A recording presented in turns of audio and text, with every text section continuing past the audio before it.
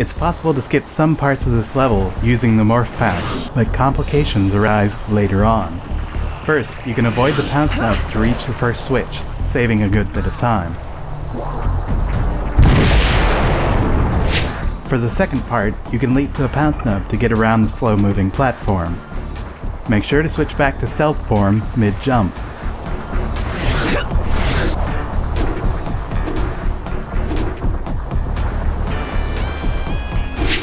complications come up here, where you can bypass the second switch and reach some pounce nubs.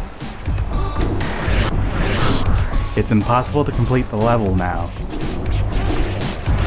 The fact you've made it this far really annoys me! The reason is that in breaking the sequence, Kess is not set up to deactivate this final switch in a cutscene. Watch how nothing happens after deactivating this switch.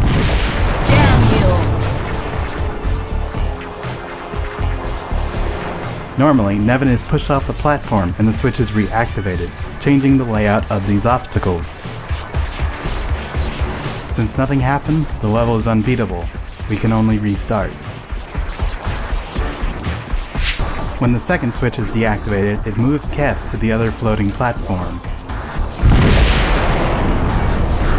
I let you have that one. Just wait till you see what I've got in store for you. Since Kess never reached the floating platform previously, the scripting messes up and breaks the level. The fact you've made it this far really annoys me! Watch how the cutscene plays out now that Kess is in proper position.